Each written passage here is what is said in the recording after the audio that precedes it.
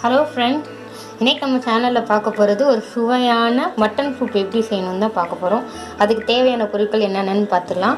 Main இன்க்ரீடியண்ட்டான எலும்பு நான் ஒரு கால் கிலோ எடுத்திருக்கேன். நல்லா ரைப் பண்ண டொமேட்டோஸ் ரெண்டு நல்ல கொஞ்சம் நார்மலாக இருக்க டொமேட்டோஸ் ரெண்டு. அதுக்கப்புறம் ஒரு ஃபிஃப்டீன் டு எயிட்டீன் வரைக்கும் ஒரு சின்ன வெங்காயம். அதுக்கப்புறம் நாலு நாலு பூண்டு கொஞ்சோண்டு இஞ்சி ஒரு டேபிள் ஸ்பூன் சீரகம் மூணு பச்சை மிளகா அப்புறம் ஒரு டேபிள் ஸ்பூன் தனியா. அதுக்கப்புறம் மசாலா வகையில் உப்பு தேவையான அளவு. கொரியாண்டர் பவுடர் இங்கே நான் ஒரு ஸ்பூன் தான் எடுத்திருக்கேன் தனியா பொடி. ஏன்னா அதில் ஆல்ரெடி நம்ம ஒன் டேபிள் ஸ்பூன் வந்து நான் சீடாகவே ஆட் பண்ணி கிரைண்ட் பண்ண போகிறோம் அதுக்கப்புறம் பெப்பர் பவுடர் அண்ட் தென் கிராம்பு பட்டை ஏலக்காய் எல்லாமே ஒன்று ஒன்று எடுத்துக்கோங்க. இனி இப்போ நம்ம பேஸ்ட் எப்படி பண்ணுன்றதை பார்க்க போகிறோம் இப்போது பேஸ்ட்டுக்கு தேவையான இன்க்ரீடியன்ஸ் எல்லாம் எடுத்துக்கலாம். ஃபஸ்ட்டு இந்த இதை எடுத்து வச்சுருக்கோம் இல்லையா? அந்த பூண்டு ஜீரகம் தனியா பச்சை மிளகா இஞ்சி இதெல்லாம் சேர்த்துக்கலாம். அதுக்கப்புறம் சின்ன வெங்காயம் எடுத்தது எல்லாமே சேர்த்துக்கலாம். இது ரெண்டையும் நல்லா கிரைண்ட் பேஸ்ட் இருக்கும் வரைக்கும் வரைச்சிக்கலாம். நான் அந்த சொன்ன அந்த இன்க்ரீடியண்ட் எல்லாம் சேர்த்து இப்படி நல்லா நைஸாக ஒரு பேஸ்ட் ஆக்கிக்கோங்க. அதுக்கப்புறம் வச்சுருந்த டொமேட்டோவையும் நல்லா இப்படி பேஸ்ட் பண்ணி வச்சுக்கலாம். நான் இந்த நெக்ஸ்ட் ஸ்டெப் வந்து இந்த மட்டன் எல்லாம் வந்து குக்கரில் நான் ட்ரான்ஸ்ஃபர் பண்ணியிருக்கேன். அதுக்கப்புறம் மெயின் இன்க்ரீடியண்ட்டான இந்த மசாலாஸை நம்ம ஆட் பண்ணுவோம்.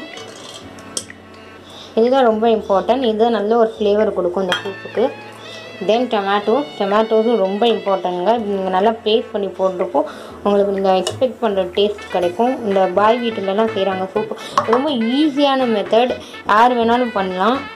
அண்ட் தென் இந்த இதுக்கு தேவையான அளவு தனியாத்தூள் ஆட் பண்ணிக்கிறேன். ஒன் டேபிள் ஸ்பூன் சொல்லியிருந்தேன் அது. அதுக்கப்புறம் பெப்பர் காரம் வந்து பெப்பரில் தான் நம்ம எடுத்துருக்கோம். அதனால் நம்ம பச்சை மிளகா சின்ன சின்னதாக மூணு தான் போட்டேன். அதனால் பெப்பர் கொஞ்சம் ஜாஸ்தியாக எடுத்துக்கலாம். ஒன்றும் பிரச்சனை இல்லை. அதுக்கப்புறம் உப்பு. உப்பு வந்து ரொம்ப ஆட் பண்ணிக்காதீங்க. டேஸ்ட் பார்த்துட்டு ஆட் பண்ணிக்கலாம்.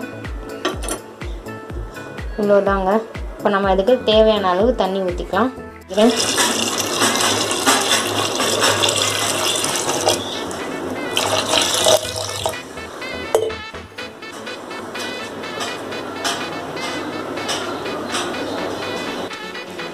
அப்புறம் ஒரு ஹாஃப் சிட்டிகை வந்து மஞ்சத்தூள் ஆட் பண்ணிக்குவோம் இதோட. அவ்வளோதாங்க இந்த எல்லாத்தையும் நல்லா மிக்ஸ் பண்ணி ஒரு எட்டு விசிலுக்கு அப்புறம் குக்கரை ஓப்பன் பண்ணி பார்த்ததுல இருக்கிற ரிசல்ட்டை பாருங்கள் நல்ல கலர்ஸ் வந்திருக்கு. எலும்பு நல்லாவே வெந்திருக்கு.